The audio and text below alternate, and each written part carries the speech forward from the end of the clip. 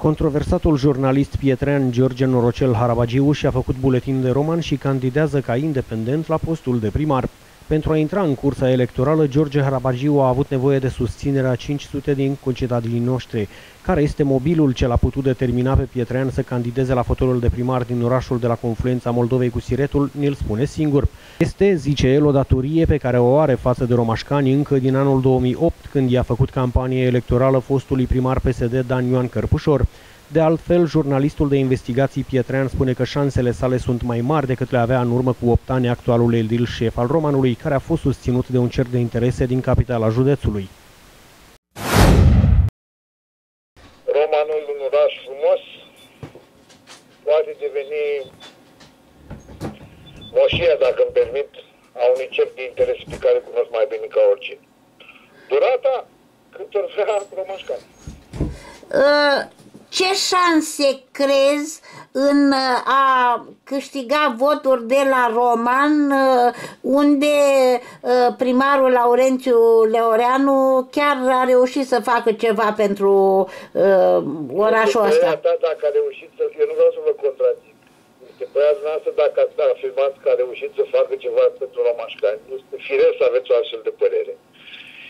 Din punctul meu de vedere, am mult mai multe șanse, sau infinit mai multe șanse decât avea domnul Leorean în 2008, când uh, a fost uh, efectiv uh, făcut primar de un cerc de interese, din nefericire penal astăzi.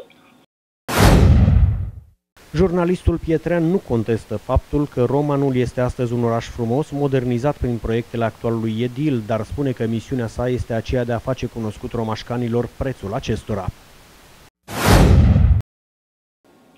Că romanul, în roman au avut loc anumite investiții, eu tocmai consider că romașcanii trebuie să afle care este adevăratul lor preț.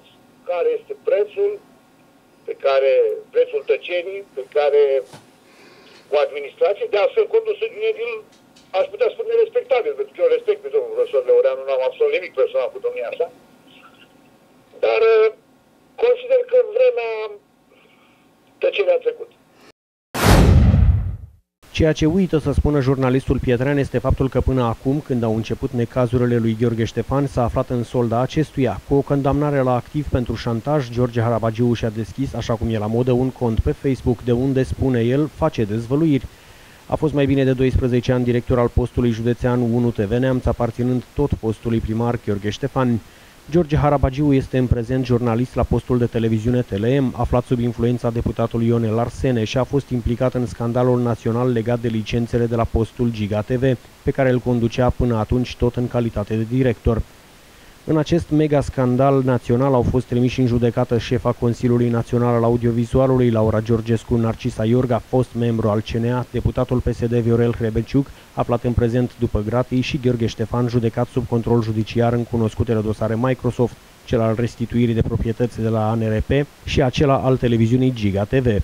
Jurnalistul Pietrean, transformat în romașcan din interes electoral, își dorește ca în campanie să participe la dezbateri cu actualul edil al romanului.